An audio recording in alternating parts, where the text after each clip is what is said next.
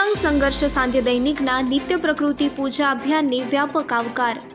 બુધવારે સાંજે ડીસાના સામાજિક અગ્રણી અને અખિલ ભારતીય વરિષ્ઠ નાગરિક પરિસંઘની રાષ્ટ્રીય કાર્યકારિણીના સદસ્ય ગોવિંદલાલ દવેએ દિવ્યાંગ સંઘર્ષ કાર્યાલયના મહેમાન બની પ્રકૃતિ પૂજાનો લાહવો લીધો હતો.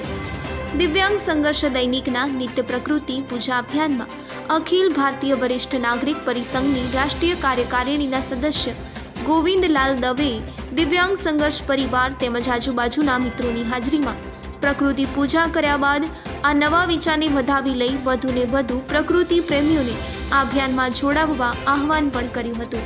ડીસાથી રવિ ગોસ્વામી સાથે અમિત ગોસ્વામીનો રિપોર્ટ.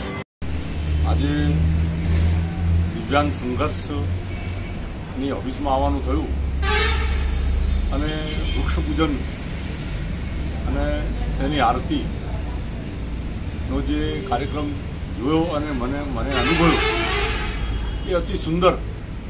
અને જેના કારણે આ સમાચારો ભારતીય સંસ્કૃતિને અનુરૂપ હોય.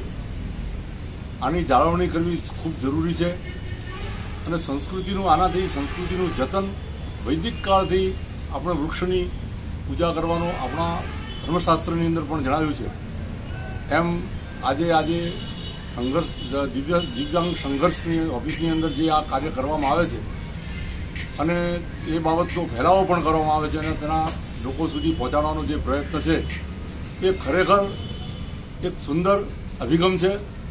અને એમ, એના માટે હું દિવ્યાંગ સંઘર્ષની તમામ સ્ટાફને, એમના મેનેજરશ્રીને, ઓડિટરશ્રીને, એના માલિકશ્રીને, તમામને ખૂબ ખૂબ અભિનંદન આપું છું.